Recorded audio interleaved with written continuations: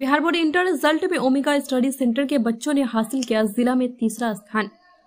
Bihar board inter result शनिवार को जारी कर दिया गया, जिसमें जिला की मिर्जापुर स्थित प्रतिष्ठित ओमेगा स्टडी सेंटर के बच्चे बबली गुप्ता ने जिला में तृतीय स्थान सहित दर्जनों बच्चों ने पचासी प्रतिशत से अधिक अंक प्राप्त किए हैं, जिसमें बबली गुप्ता चार सौ अंठावन, रूपेश कुमार चार सौ अड़तालीस, शिवानी कुमारी चार सौ बत्तीस, भास्कर कुमार चार सौ बत्तीस नेहा कुमारी चार सौ तेईस, रितेश रोशन चार सौ इक्कीस पीयूष कुमार 425, रामाशंकर ठाकुर 422, नीलू कुमारी 421।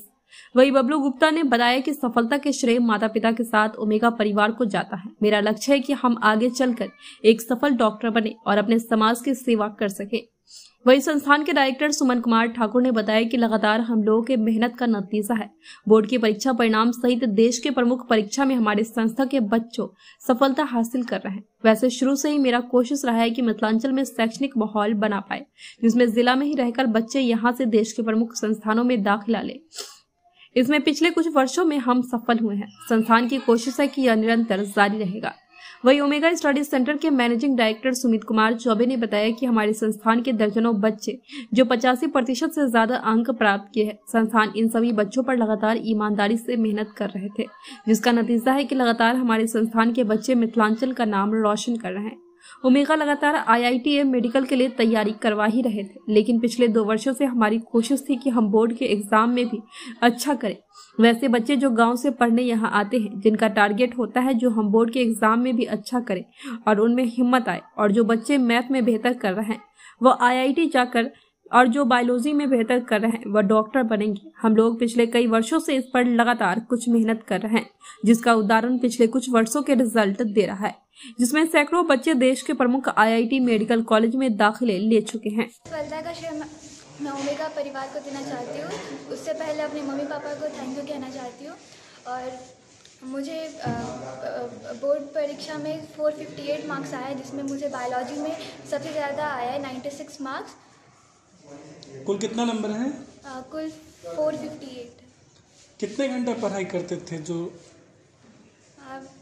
टेन टू ट्वेल्व आवर्स कहाँ पढ़ाई करते हैं? ओमेगा स्टडी सेंटर मेरा कुल 412 नंबर है और मैं इसका क्रेडिट अपने माता पिता और ओमेगा परिवार को और इसमें जितने पढ़ाते हैं शिक्षक सभी को क्रेडिट देना चाहता हूँ।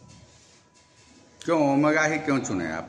क्योंकि मतलब ओमेगा अच्छा पढ़ाई यहाँ पे होता है और यहाँ पे बाहर जाने से अच्छा यहीं पे ठीक इसलिए सबसे ज़्यादा नंबर किस सब्जेक्ट में है? मैथ में नाइन्टी सेवन। अभी तक जो जानकारी मिली है वो थर्ड रैंक है डिस्ट्रिक्ट का पब्लिक गुप्ता का फोर फिफ्टी एट मार्क्स है। और दर्जनों बच्चों का फोर थर्टी प्लस स्कोर है। एट्टी फाइव परसेंट से ज़्यादा लाने वाले अभी तक के जो छात्र मिले हैं छुट्टी का टाइम है अभी। फिर भी जो हम लोग को कलेक्ट हो पाया मार्कशीट उसके अकॉर्डिंग बत्तीस बत्तीस संस्थान के ऐसे हैं जो एट्टी फाइव प्लस लाए हैं, जिसमें से कुछ आपके साथ अभी यहाँ पे हैं। और संस्थान लगातार अपना काम ईमानदारी से नीट जेई के लिए कर ही रहा था। पिछले दो वर्षों से संस्थान कोशिश कर रहा है कि बोर्ड्स में भी अपना रिज़ल्ट अच्छा करे।